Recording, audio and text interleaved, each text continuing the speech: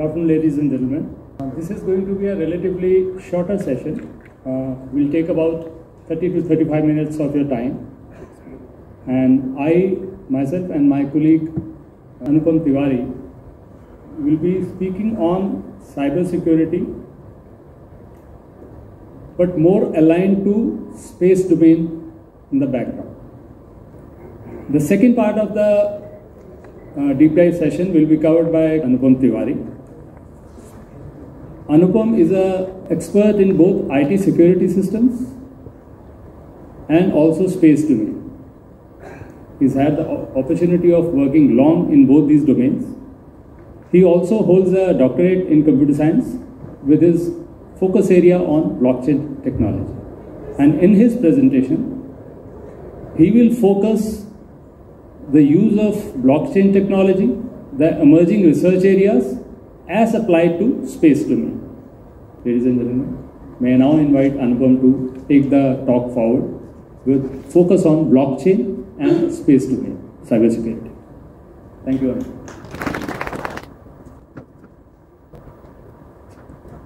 Uh, thank you, sir. Good afternoon, ladies and gentlemen.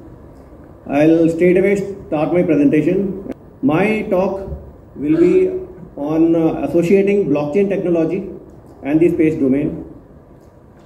The typical disclaimer uh, nothing official about it.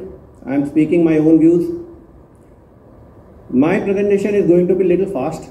In the sense, I want you to capture a number of keywords related to blockchain, related to distributed ledgers and the technologies are which are associated and have got huge scope with respect to the security concerns in the cyber security and more so I'll be peculiar to the space domain.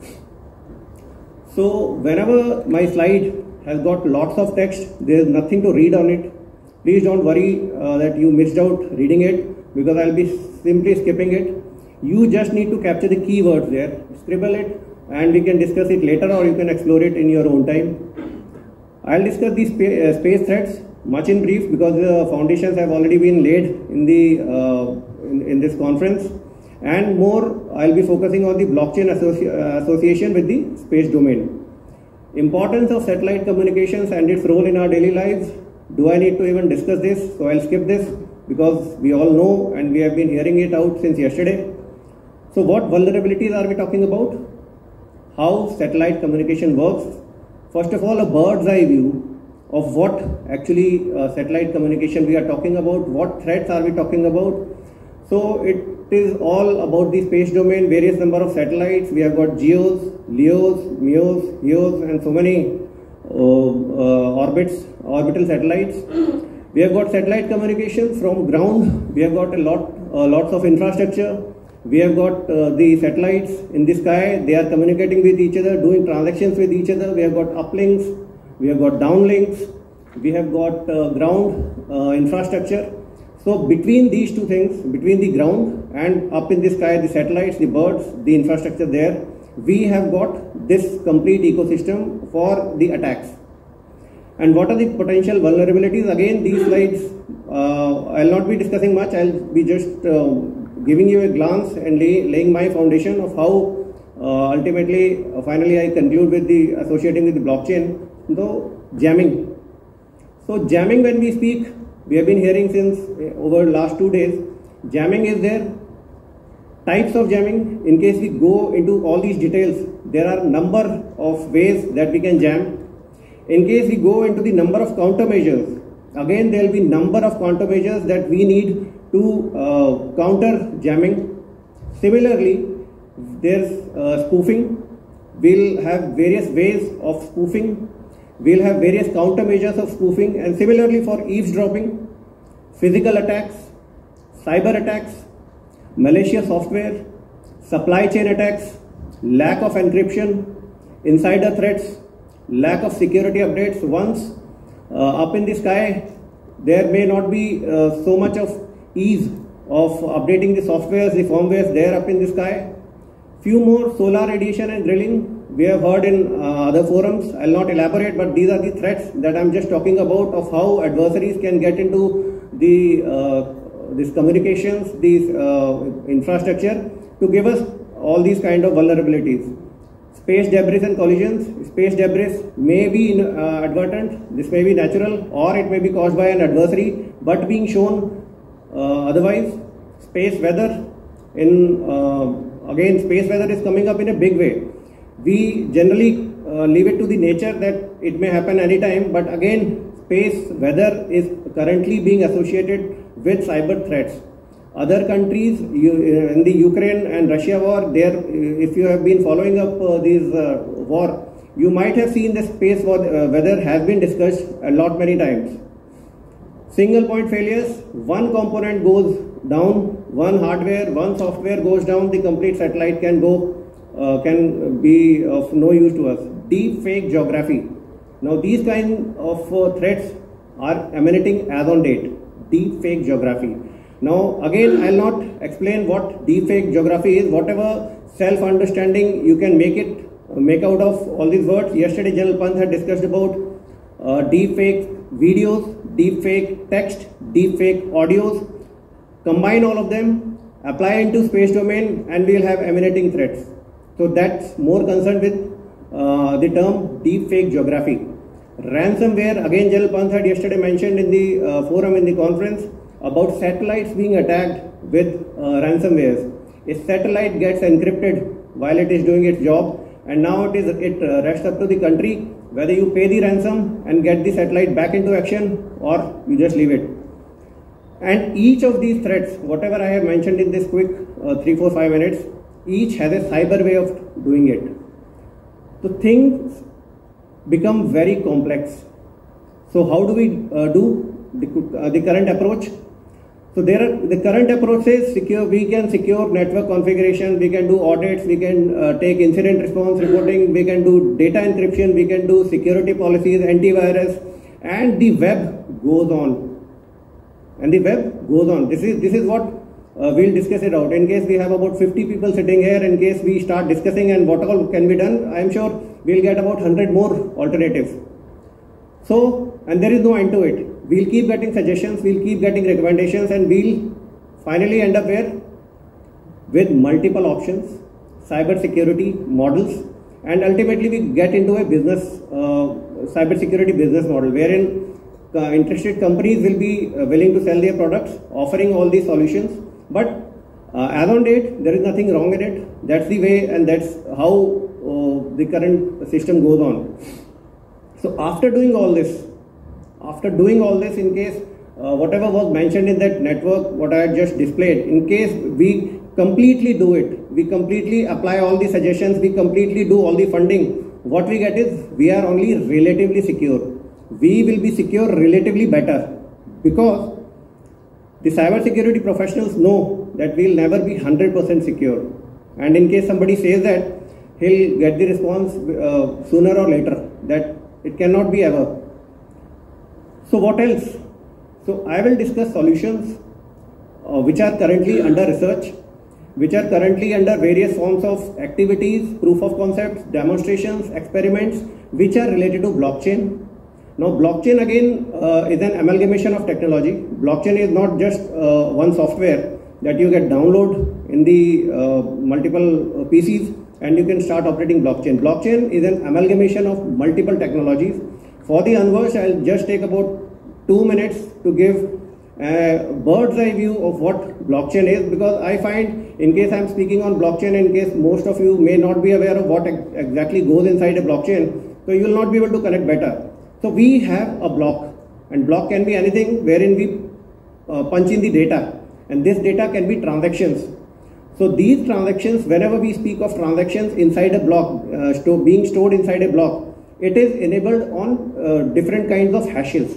Now hashes, we hashes, I'll just uh, take uh, into this introduction, input anything, any format, you input image, you input, uh, input video, audio, text, and you get a 64 bit or a 32 bit or whatever hash we apply, we get that kind of string. So you uh, apply any hash algorithm on any digital uh, content that you have and you get some fixed output. That will be unique Unique in the sense, suppose I have got this text on the screen, talk on 07 uh, June 2023. So if I apply a hash on this, so what I'll, what I'll get is something like this. But This is unique to this thing. In case now you see that uh, June 2023, if you clearly uh, just uh, peculiarly watch on n, if I make it small n, if I do small amendment to it, the complete hash changes. So this is what hash is all about. It uh, gives uniqueness to the content, uniqueness, integrity to the digital content. And now coming back to my block. So block, there is a block with some data. Let it be number one. Then we have got two, three, four, five, six, seven, eight, nine, ten, and we go up to, for a understanding, 15 blocks. These 15 blocks will be mathematically connected. First block second block, third block. So the hash of first block will be there in block 2. The hash of third block will be, uh, the hash of second block will be there in third block and the cycle goes on. Hash of the preceding blocks will be stored in the subsequent blocks and this thing goes on and they are all mathematically connected. Do we get, so we get a chain of blocks which are mathematically connected. The thing does not end up here. This becomes chain of blocks, block chain. Now at the same time what is happening is whenever this block is generated at the global, suppose uh, I'm speaking about in context of a permissionless blockchain, uh, suppose I'm speaking of Bitcoin or Ethereum etc. So at world level, whatever chain of blocks has been formed here on the screen, what you see, it will be populated at various nodes simultaneously, whoever are the users. So this is what uh, the blockchain brings it along, the immutability, the transparency and it is populated. So even if one PC or one node is compromised, uh, it will not be affecting anything because majority of the nodes 99% of the other nodes will be there with the exact data with the integrated data and what in the manner that I've explained blockchain here into maybe about two and a half minutes there, there is a lot of technology that goes behind and I'm not going to discuss it but giving you a prelude of what blockchain is uh, from a very holistic point of view so what does blockchain technology actually achieve a number of things are there but the main thing is trust. So there are two uh, entities A, B. In case we are doing transaction, so there will not be a, a need of third party. The trust is taken care by the consensus uh, which is derived from the blockchain. So number of active satellites, now coming back to space.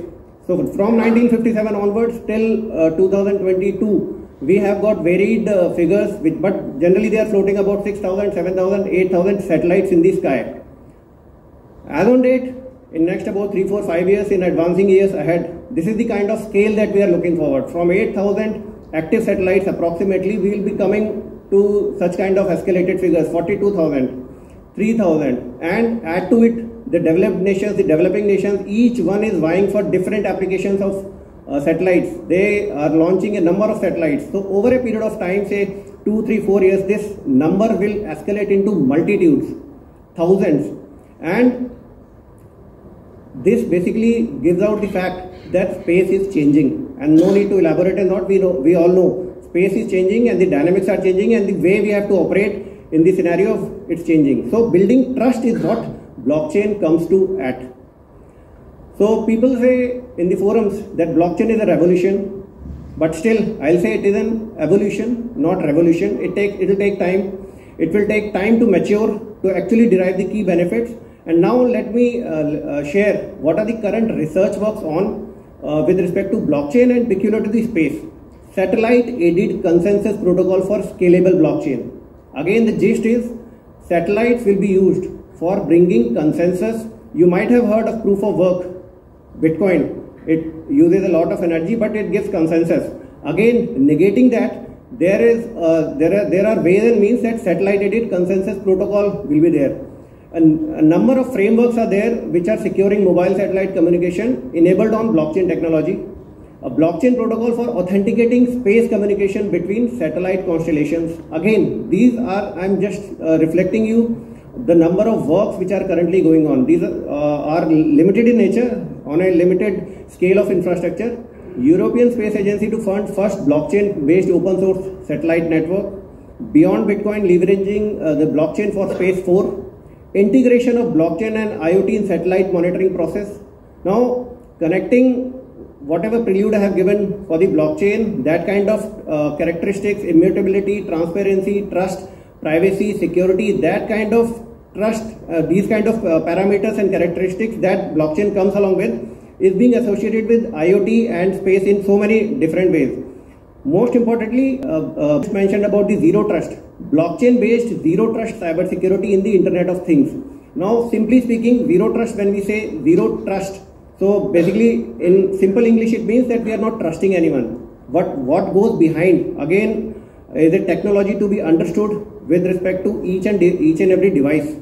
We do not trust anybody. And there again, blockchain can be used uh, along uh, to enable zero trust, achieve and derive its uh, features.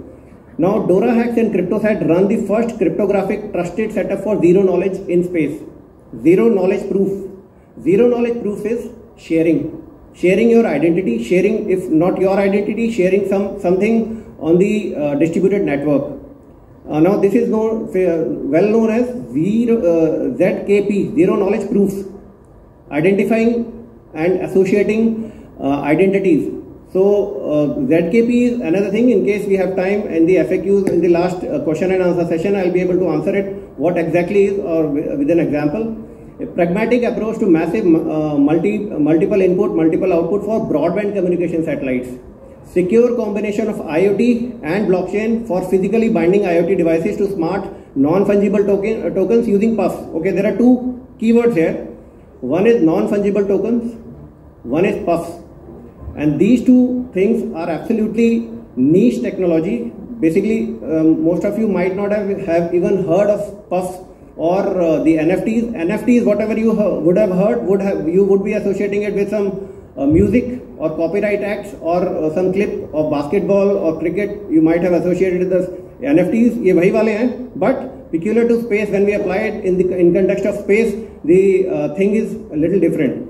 Uh, but the application is absolutely uh, technical in this wherein uh, okay NFT standards. So no need to uh, I'll not be able to explain all these uh, NFT standards but the thing is a lot of work is being done in Ethereum request. This this is all peculiar to Ethereum blockchain. Ethereum request for comments 20 55 67 721 all this. Uh, IPFS again IPFS is internet planetary file system. Again I'll not be able to explain you, but these are the keywords that are associating blockchain. Blockchain is not meant for storage. Blockchain is meant for uh, populating and uh, this, uh, deriving the key parameters out of it. Data storage remains somewhere. In most of the cases, whenever we speak, associate blockchain with any kind of storage, it is supposedly the storage takes uh, uh, in the cloud or in the local servers but here IPFS comes where it in it divides. So we have got a satellite image. We convert it into zeros and ones. We convert into into multiple chunks. The standard is 25 so these 25 are basically again converted into a hash. These hash are uh, applied with the IPFS and these IPFS completely uh, at the end of it we give a, uh, uh we get CID content identifier. So we get one particular hash. Again hashes have got another ecosystem. Today's hashes may not work tomorrow. So multi-hashes are there which are future proof. Blockchain network for space object, location gathering, digital currency uh, designed for sustainable active debris removal in space. Just see what kind of work is being associated with blockchain and space. ConsenSys unveils Ethereum based satellite tracker. Smart contracts, again, uh, uh, uh associated uh, thing of blockchain only for Ethereum and onwards, not for Bitcoin. Research on satellite network security me uh, mechanisms based on blockchain technology, blockchain application with multi-sensor satellite architecture. JP Morgan launches blockchain in space, blockchain and satellite space cybersecurity challenges quickly. Common global blockchain platform. I'm sure I'm sure we'll not be able to attain that because each country has got a different blockchain platform. Uh, what they're working on interoperability. All blockchain platforms, whatever we are using, they are not currently able to speak to each other all the works are currently on transactions per second per blockchain bitcoin uh, transaction is about 7 to 8 transactions per second. Ethereum is about 15 and the modern generation blockchain platforms are attaining attempting to attain about thousands or millions of transactions per second. But the complete design changes. So challenge is 51% uh, attacks. It is susceptible. So uh, consensus protocols blockchain regulations blockchain scalability again is an issue. Uh, algorithmic bias. We have a uh, like blockchain platform. We use hyperledger or it, uh, any kind of Polkadot or anything so we assume that it is working in the for the manner it is supposed to be for the for its own function but algorithmic bias we cannot say. Blockchain standards currently do not exist. And last is the lack of shortage of skill sets. So what are we doing? We have this uh, at um, uh, the country level. What I'm saying is national strategy of blockchain was released in uh, December 2021, but it did not mention anything on space perspective. But uh, although it was associating itself with a multitude of things, healthcare, smart cities, smart buildings, and so many other things, but not for space. Various states currently, this is uh, one of the. Uh, I'll take about 30-45 seconds more. This, this is the state of India wherein multiple states are already working on blockchain technology, associating land registries, uh, voter ID records, uh, chit fund operations, etc. But sadly, sadly, all these states are working on different platforms. One is working on Polygon, one is working on Hyperledger, one is uh, working on Ethereum, which will not be able to speak to each other uh, in the holistic uh, manner. Tamil Nadu is the only state which has its own uh, blockchain policy, state blockchain policy. And uh, the solution at the end of this, my second last slide. So the solution is research and development constantly. Although it uh, basically figures out uh, the most common term that we should invest in R&D, we should invest in R&D, but actually we need Atmanirbhar Bharat to realize actually uh, the true potential. Unless otherwise we will uh, be playing that cat and mouse game and following up the business models only. So I know I have bombarded quick, fast-paced uh, presentation. I have given a lot of things. So uh, thank you and Jahan and with this I close. Thank you.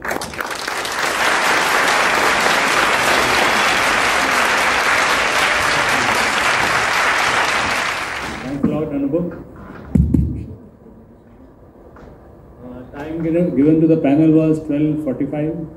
Using blockchain, Anupam has wrapped up at 12.44. We are happy for that. In case there are any doubts, any inputs any additions you want to convey, we'll be happy to tackle.